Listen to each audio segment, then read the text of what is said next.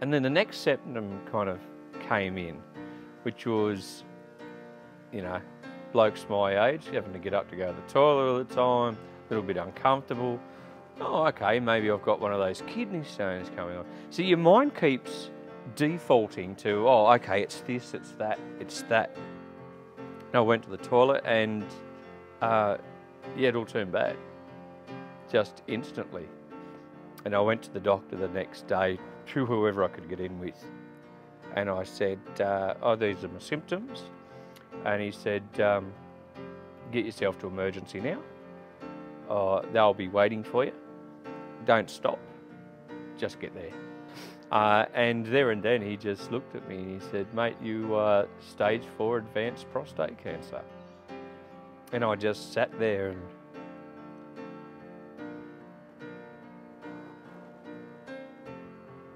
didn't have a good time.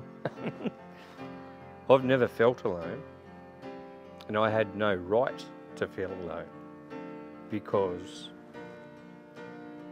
I never am.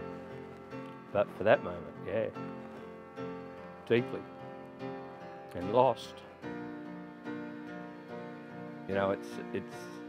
I know what it's like to be a 13-year-old kid to lose your father, and now I know what it's like to be a father that's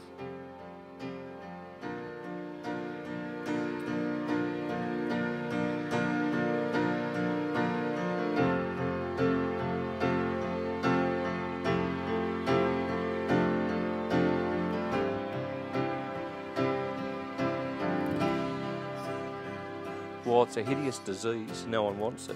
I've got it.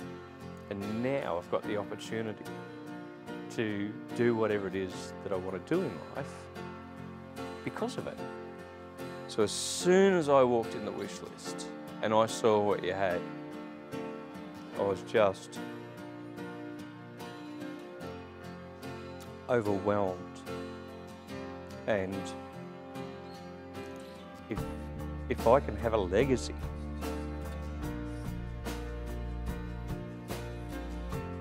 I think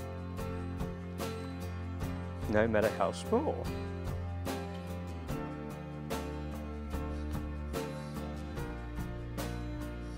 Being part of this is just,